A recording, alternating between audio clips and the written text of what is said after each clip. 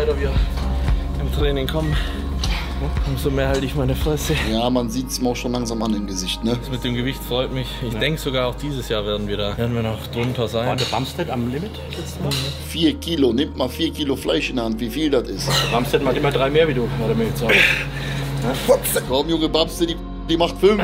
Das war immer seine Problematik. Der Arm von der Seite. Markus ist völlig baff. Ich kann mir nicht vorstellen, dass einer einen perfekten hat. Das ist wirklich, das ist. Echt, dass du das Ding gewinnen kannst. Locker. Vor allem der Bob Cigarillo macht nicht mit, ne? Ich bin überzeugt davon, dass du als erstes in der Mitte stehst. Selbst ich habe die ganze Zeit Gänsehaut hier. Wahnsinn. Endlich ist es soweit. Das heiß begehrte Video von der deutschen Bodybuilding-Schwergewichtslegende Markus Rühl zusammen mit Urs ist jetzt endlich, endlich online. Inklusive Formcheck. Wir sneaken in das Video rein. Ich bin mega heiß auf das Video, ja. Du bist ein richtiger deutscher Schrank. Von dieser Combo kann man nur träumen, Freunde. Also, nicht viel labern. Let's go. Viel Spaß mit der Reaction. So, ich mal an jetzt.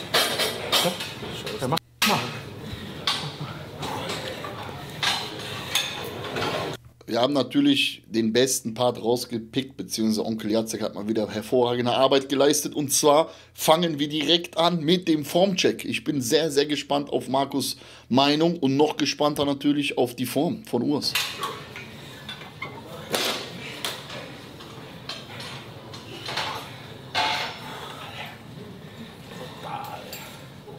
Brutal. Aber ist das wirklich brutal? Du kannst halt manches nicht trainieren.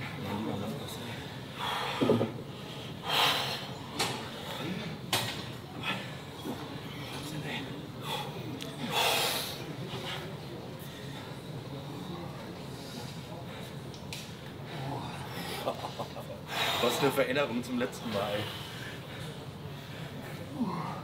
Auf. Letztes Mal, als sie sich getroffen haben, da war Urs, glaube ich, im Aufbau und nicht kurz vorm Wettkampf, wenn ich mich nicht irre. Oder? Haut's mal in die Kommentare. Ich hab's vergessen. Es ist auf jeden Fall, glaube ich, ein gutes Jahr her.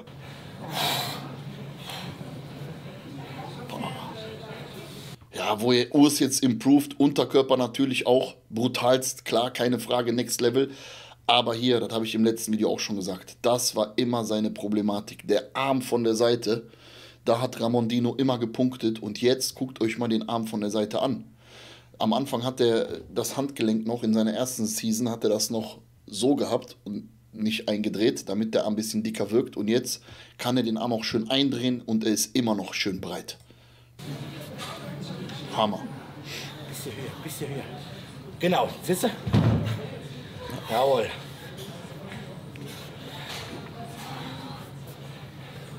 Sehr gut.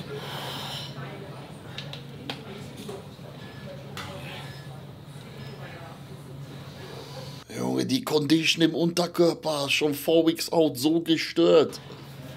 Das haben die meisten auf der Bühne nicht mal. Die sind durchgestreift bis in die Beuge hinein. Auch die Querstreifen am Quadrizeps, Junge, was ist das?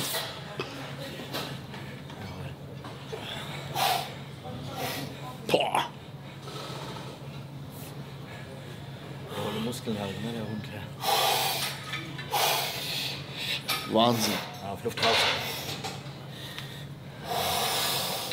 Ich sehe jetzt nur die Veränderung zum letzten Mal. Die ist so gravierend. Die Härte. Alter, ey. Markus ist völlig baff. Hat man lange nicht mehr gesehen, dass einer auch so Props bekommt von Markus Rühl. Der ist ja eigentlich so ein Nörgler, genauso wie Heiko. Aber hier, Digga, Markus ist am Strahlen.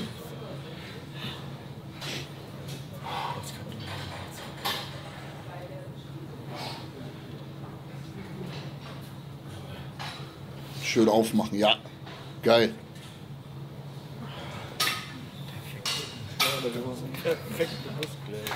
Das ist so. Ich lach mich kaputt.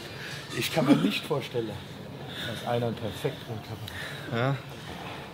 Vielleicht hat einer ein bisschen mehr Muskeln. Aber Perfektion. Das ist wirklich, das ist diese Linie, die Urs hat, vor allem wenn er in Pose geht, ist einfach Lights Out. Einfach Lights Out ist Feierabend. Schönheit, voller Volumen. Ja. Härte, Ausgeglichenheit, da ist nichts mehr. Letztes Mal habe ich noch gesagt, deine Arme. Ja? Ja, Jetzt nichts sind auch kritikfähig. Gar nichts mehr. Es ist nichts mehr da. Was er eigentlich, was er eigentlich sagen kann, das ist nicht Perfektion. Ausgeglichen. Und das, Das ist eigentlich war uns Classic ja auch Bodybuilding. das haben wir ja gesagt. Ja. Wie krass das auch ein pushen muss, ne? ein Urs, wenn man sowas hört von der Legende Markus Rühl. Hammer. Rücken, Arme Perfekt. und das passt perfekt. Die Härte brutal. Ich, ich, ich hoffe nur, du bist nicht schon so weit. Ey. Ohne Scheiß. Den Spruch mag Urs überhaupt nicht. Ja, mit du bist zu früh fertig vom Wettkampf. Da macht er sich immer lustig in den Instagram-Stories, habe ich schon gesehen, das eine auf das andere Mal. Ich meine, ich weiß jetzt, wie. wie ne? Ich habe wenige gesehen, die ohne Entwässerung so ausgesehen haben. Ja, das Das ist abartig, Alter. ist Münzerhärte. Ich musste mal schnell Amateurweltmeister werden mit sowas beim Schwergewicht, was mal schnell vorbeilaufen. So. Warte mal hier. Komm ja, mal den WM-Titel mit. Jetzt mache ich jetzt im Classic zurück. Ich sage jetzt auch nicht mehr, dass er ins Schwergewicht gehen soll. Nicht, weil Alicia nicht dabei ist, sondern weil es halt einfach echt. Ich muss ganz ehrlich sagen, jetzt wo sie wieder ein bisschen Luft gegeben haben, ne? Ja. jetzt sehe ich die nächsten vier, fünf Jahre noch echt, dass du das Ding gewinnen kannst. Locker. Locker. Vor allem der Bob Cigarillo macht nicht mit, ne? Da kannst du dann nur gewinnen. Ja, Überleg mal, Arnolds jetzt war ich 99. 99,4 bei der Abwaage. Und 103 ist jetzt mein Limit. Vier Kilo, nimmt mal vier Kilo Fleisch in der Hand, wie viel das ist. Vier Kilo Muskel. So, jetzt lässt du die Frisur mal noch ein bisschen hochtopieren. Ja. Da hast du noch mal ein Kilo Luft. Friseur Rühl kommt dann mit und stylt mich davor. Macht er so Ding wie, wie also, also hier. Schön Irokesen. Ding, ja. Pyramide. Darfst du mit Schuhe hinnehmen, ne? Nee. Aber Socke, ne? Auch nicht. Auch nicht mehr? Ja, da wurde sie ja viel weggemacht? gemogelt. Eben. Da haben sie sich Keile drunter geschoben. sagen, ja. Oder Ding dran geschmiert. Ja. Alles. Alles weg jetzt? Ich gehe sogar nicht mehr zu meinem äh, Pediküre, Maniküre Chines um die Ecke, dass ich möglichst Ganz viel Hornhaut, damit man noch, mehr, noch größer ist. eklig, dass ich möglichst fette Hornhaut unten habe. ja, das ist verrückt, das man in der Birne, Alter. Ja, ja, musst du machen. Aber ist geil. Musst du machen. Nee, das, Da das, zählt mit jeder dem Gewicht, Millimeter, ne? das mit dem Gewicht freut mich. Ich denke sogar auch dieses Jahr werden wir da werden wir noch drunter War sein. der Bumstead am Limit letztes Mal? Meinst du, Also immer so Meinst du, die haben es bei Redem gemacht auch? generell auch wegen den kleineren Athleten. Weil es war faktisch, hattest du als größerer Athlet Vorteile. Ja. Also jetzt, ich bin ja jetzt nicht klein mit 1,82, aber wenn du 1,75 hattest, Ja, gut, was klar. durftest du da wiegen? So viel wie dein halbes Bein. Alter. das ist halt in diesem Weißt Limit du, mal Körpergröße ist das schwierig. Das ist Ja, schwierig einzuschätzen. Ja. Und die Klasse ist ja noch erste Generation. Mhm. Ich meine, schauen wir mal, bringen wir den Pott nach Hause. Ich hoffe aber nicht, dass die das Limit noch weiter in die Höhe treiben, weil dann geht halt dieser klassische Look bei den meisten Flöten, weil die dann zu muskulös sind, zu fleischig sind. Und dann Schwer, äh, schwer nicht dran zu glauben. einen Ja. Kasten Bier, Alter. Ja, machen wir gern. Dann saufen wir uns komplett zu. ja, solche Worte von Markus, Alter. Vom Idol, da kriegt man schon, kriegt man schon Gänsehaut. Hammer. Ich habe erstmal meinen Shaker gesucht, weil ich mit meinem Diäthirn vergessen habe, wo, wo ich den gelassen habe. Wir haben äh, die Form gecheckt mit Markus. Ihr habt ein paar Highlights gesehen. Äh, ich habe mir noch letzte Ratschläge abgeholt, letzte Tweaks, letzte Instruktionen und eine qualitative Meinung, bevor es morgen in die USA geht. Also letztes Training hier heute. Ähm, Nochmal ein Highlight für mich. Und jetzt geht es noch weiter. Machen noch eine Brustübung. In dem Gym habe ich übrigens mit Markus auch zusammen damals mein PT gehabt, was ich geschenkt bekommen habe von Onkel Mirek. Lieben Dank nochmal für dieses brutale Geschenk.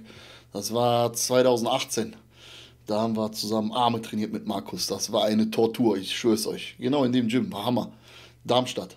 Fliegende und noch Seitheben. Ja, du hast ja gerade erzählt, bevor die Kamera anging, dass wir jeden Tag 35 verschiedene Produkte nehmen. ne? An Supplements. Wir nehmen alles von ISN und An Steroiden. Rühls Bestes hoch und runter und an vorne und hinten rein, unter die Füße. Oh, doch nicht die Alles, die Ohren, Kreatin durch die Nase, ja, alle Körperöffnungen werden bedient. Geil.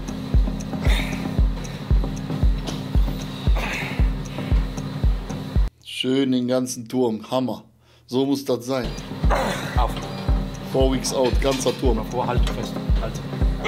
Das ist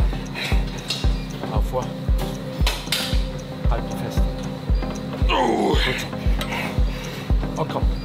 Vor, vor, vor, vor, vor. Halt dich fest. Noch einer. Vor, vor, vor. Jawohl. Auf. Vor. Vor. Vor. Komm. Vor. Halt. Drei. Zwei. Eins. Langsam weg. Genauso. So geil, Alter, wenn Markus dich anspornt beim Training. So war das damals auch. Hammer. Ganze Turm, ey. Das gibt's doch gar nicht. Wenn ich jetzt mache, reißt mir aber die Schulter aus dem Gelenk raus.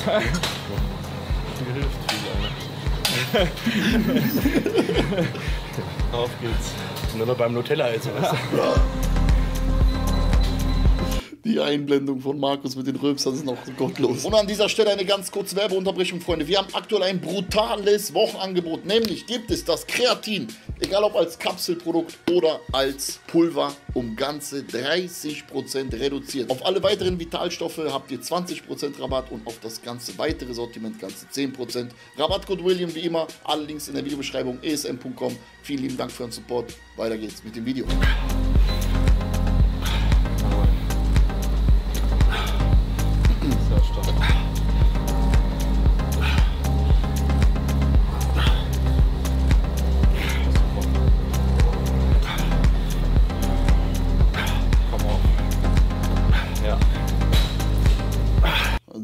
Ob der nur aus der Schulter arbeitet, nicht aus der Brust. Aber vielleicht sieht es auch nur so aus. Ich will hier Markus nichts unterstellen, um Gottes Willen. Ja.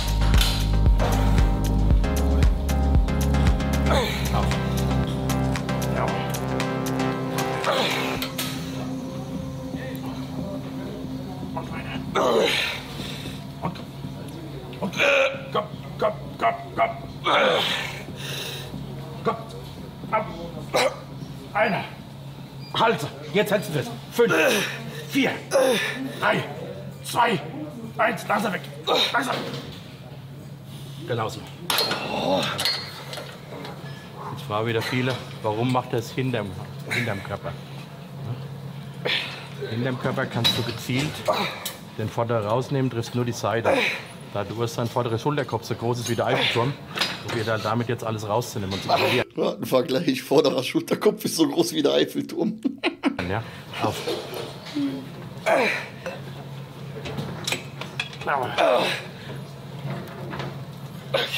Gut. Und es ist nicht für den hinteren Schulterkopf. Bitte, Nee, ist für die Seite. bitte, bitte. Man kann es auch vorne Schlaganfall, machen. ja. Aber Kannst du da vorne machen, aber dann hast du halt ich immer. mag es vorne nicht so. Nee, du gehst halt immer Ich vor. mag es immer von hinten. Wer nicht, Freunde, oder? Sind wir mal ehrlich jetzt hier. Sag ich jetzt nichts dazu. Ich kenn, den Spruch kenne ich, ja. Das lassen wir mal so stehen. ja. Geh mal von hinten, dann sehe ich es Jeder interpretieren, wie er will. Magst du es eher von vorne oder von hinten? Das Ich Seitheben. mag es in alle Richtungen. Okay. Hauptsache es kommt zum Ergebnis. Hauptsache es kommt in der Schulter an. genau. Ich wüsste jetzt nicht, was ihr da ja. schon wieder denkt. Scheiß Perverslinge.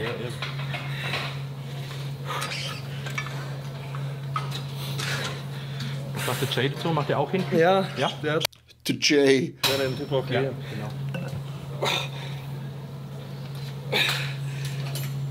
Also, jetzt seid ihr schlau geworden. Der Jay Cutler mag es auch von hinten. Ne? Ja, sind wir schon zwei.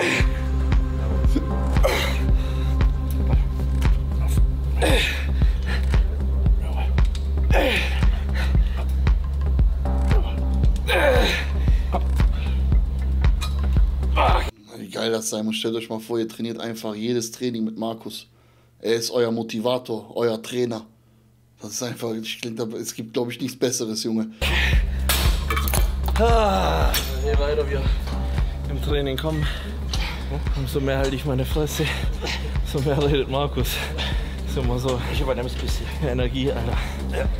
Ja, man sieht es ihm auch schon langsam an im Gesicht, ne? Die Prep hat Spuren hinterlassen, er sieht platt aus. Aber ist ja auch normal, nach so einer langen Diät. Wenn der Zuckerdiabetes ist auf dem Kopf weniger dran, klar. Ich habe gar nichts mehr geredet zum Schluss. Gell, oder? Hab ich hab nicht mehr viel geredet, ne? Außer mit meinem Wellesittich halt, ne? Ist bei dir kein Intra-Workout Mars liegen. Damals. Auf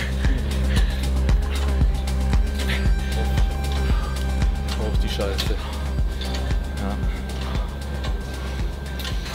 Da erzählt dir irgendwas von vorderer Schulter, ein Eiffelturm. Und das sieht aus wie Burj Khalifa bei dir. Ja, so dünn und so lang.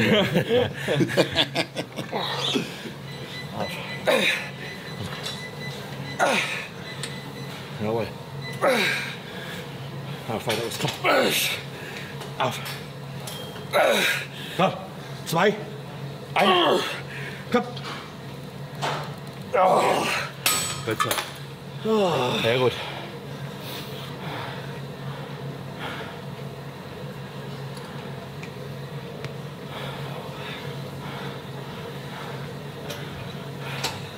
Auf geht's. Zieh durch, letzte Sitz. Jawohl. Komm, kämpfe nochmal. Auf. Ramstedt macht immer drei mehr wie du, hat er mir gesagt.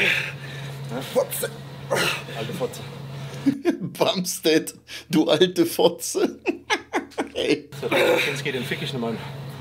Was, was, was, was? Alte Fotze. Jetzt geht den fick ich nochmal. Irgendwas mit Fick ich nochmal? Keine Ahnung. Gar nichts. Auf. Hat er gesagt, habe ich gelesen.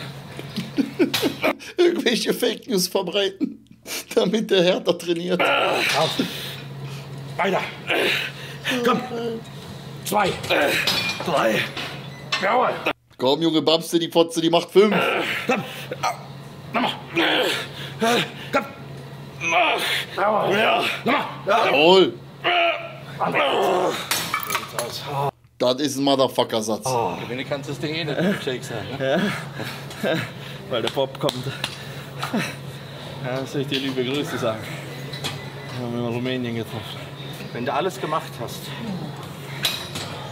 liegt es nicht an dir, sondern die lassen den einfach nur einmal gewinnen, um dann eine Wachablösung einzuleiten. Und ihr wisst, wo die Das hingehen. ist das Einzige, was passieren kann. Wenn es alles andere ist ein Hohn. Ja? Und das muss ja in deiner Birne sein. Du darfst ja nicht, darfst ja nicht denken, scheiße, Nee, Mann. der kann nicht besser sein wie du. Der kann unmöglich besser sein. Unmöglich. Das war letztes Jahr schon knapp und dieses Jahr bist du 30 Prozent besser. Mein lieber Mann, ich habe dich gesehen das letzte Mal. Da habe ich immer noch gedacht, er ist noch zu schlank. Ja. Ihm fehlt das Volumen, die Ja. Tiefe. Das ist alles weg jetzt. Das ist alles da. Ah, was habe ich Boah, das gibt dir nochmal richtig Motivation für die letzten vier Wochen. So eine Ansage von Markus. gesagt vor zwei Tagen? Ich bin überrascht, Ja. Wie das Volumen bleibt. Obwohl ich selbe Gewicht habe in dem Sinne. Das ist so voll und rund. Hätte ich jetzt nicht erwartet. Ja, Ich hätte wieder gedacht, dass du flacher bist. okay. Das bist du nicht mehr. Was sagst du so? Deine, deine Meinung jetzt mal als. Gänsehaut. Ja, Ich finde, das ist Perfektion. danke. Ja, das, Das ist ist. Perfektion. Also, da kannst Also du wenn ich 100 jetzt noch- Negativkommentare schreiben, wenn ich so eine Meinung von so jemand kriege, Alter, dann, Ach dann brauche ich da nichts mehr hören. Die Negativen, die finde ich immer was. Ja, Wenn ich jetzt noch einen Gedickpunkt habe, dann ist es höchstens noch. Hier bist du der Peak. klar, ein Markus Rühl. Aber, aber das, sind, das sind ja Dinge, ja, wir reden jetzt von 99,8 Prozent. Ihr habt beide Perfektion. Der hat aber Schwächen mittlerweile, weil er älter ist. Ne? Und die hast du nicht. Und wenn zwei Und was wir auch nicht vergessen dürfen, darüber haben wir am Freitag im Livestream uns ein interessantes Video angeschaut. Es sieht stark danach aus, dass Sibam sich wieder kurz vorm Wettkampf am Bizeps verletzt hat. Er hat am rechten Bizeps einen extremen Bluterguss hier. Und wer weiß, ja, natürlich wünscht man niemanden, um Gottes Willen, dass er sich verletzt. Aber das würde Urs natürlich irgendwo in die Karten spielen. Ein Ausfall von Bumstead beispielsweise. Oder wenn Bumstead wieder beim, bei der Doppelbizeps-Pose keinen richtigen Peak hat, weil der Bizeps entzündet ist. Oder verletzt ist oder angerissen oder whatever. Ja, das ist. Äh, das wird ein knappes Ding. Ich sehe ihn sowieso vor Dino dieses Jahr und ganz ehrlich, Alter, das Paket gerade eben, das ist wirklich Perfektion. Man sieht so gut wie keine Schwachstellen. Also möglich wäre sogar Platz 1, wenn ich das Paket jetzt hier gerade so betrachte. Das ist Wahnsinn. gleiche Niveau sind, muss ich nach der Schwäche schauen. Wer hat weniger Schwächen? Normal ist, ist Classic Bodybuilding die klassische Bodybuilding-Form. Ja, und das ist halt. Ja, und das hat Dino beispielsweise, finde ich, absolut nicht. Er ist kein schlechter Athlet, der ist brutal, keine Frage. Aber wenn es wirklich nach Classic geht, dann ist Urs der klassischere von beiden. Die Frage. Und Klassik ist keine Schwäche. Ja. Was eben im Schwergewicht geht, maximale Das Muskelmasse, Freak und ja. Freak, ja. Da ist, die sind ja nicht schön. Das ist ja schön. Mhm. Jetzt sag mir, wo ich noch was machen kann, dass es noch besser aussieht. Und ich finde immer eins ganz wichtig zu zeigen bei Olympia, diese Verbesserung. Mhm. Die musst du auch in der Jury zeigen. Das ist das, was du jetzt hast, wo ein Bumstead vielleicht gar nichts mehr zeigen kann. Ja, das wird interessant. Ne? Wir haben die Hausaufgaben gemacht, Alter. Nee. Alles gut. Ich bin überzeugt davon, dass du als erstes in der Mitte stehst. In diesem Sinne verabschieden wir uns. Die ganze Zeit Gänsehaut, egal was am Ende rauskommt. Ja, So. somit reißen wir doch die Hütte ab für Deutschland und dann ja, gucken wir, was rauskommt. Boah, Alter. Selbst ich habe die ganze Zeit Gänsehaut hier. Wahnsinn. Sehr, sehr geiles Video. Brutales Formupdate von Urs Kaliczynski. Und ich kann Markus nur zustimmen. Nach diesem brutalen Formcheck, ich meine, im letzten Video konnte man auch was sehen, aber nicht so krass wie hier, weil hier kommt man wirklich fast jede Pose sind wir durchgegangen. Zusammen mit Markus konnte man wirklich sehen, wie krass sich Urs in der Saison verbessert hat zur letzten, zur letzten Saison. Und das wird ein ganz, ganz fieses Paket, weil das ist immer noch nicht die finale Form. Er ist schon fast fertig, aber er hat noch ganze vier Wochen und in vier Wochen kann noch sehr, sehr viel passieren. Mit seiner, mit seiner Alice und Stefan Kienzel an seiner Seite hat er auch das beste, beste Team. Er ist bereits schon in Orlando, hat sich akklimatisiert, kann Vollgas geben, kann sich konzentrieren auf den Wettkampf. Ja. Deshalb, alles ist möglich. Nicht nur Platz 2, sondern eventuell auch der Mr. Olympiatitel schon bereits dieses Jahr. Wer weiß, vielleicht werden die Karten neu gemischt, Freunde. Haut wie immer eure Meinung in die Kommentare. Abonniert den Kanal, um nichts weiteres zu verpassen. Aktiviert die Glocke und wir sehen uns. Bis zum nächsten Mal. Ciao, ciao. Hat mich gefreut.